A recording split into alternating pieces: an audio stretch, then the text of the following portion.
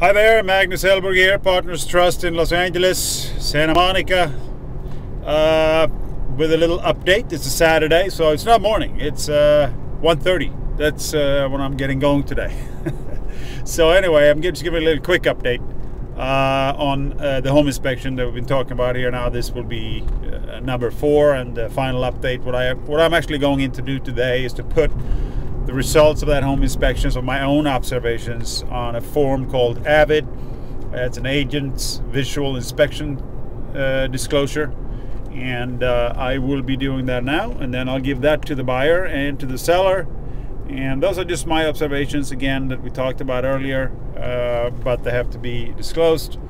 And then everybody will sign off on that. And then I'm also going to prepare a request for repairs addressing that uh, leak in the garage that property. And then uh, that's it. That's all I'm doing today. It is gorgeous in Los Angeles.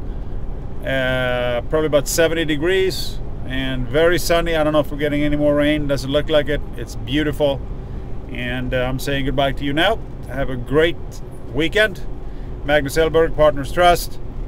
And uh, if you need to get a hold of me, it's magnus.hellberg at thepartnerstrust.com. Have a great day.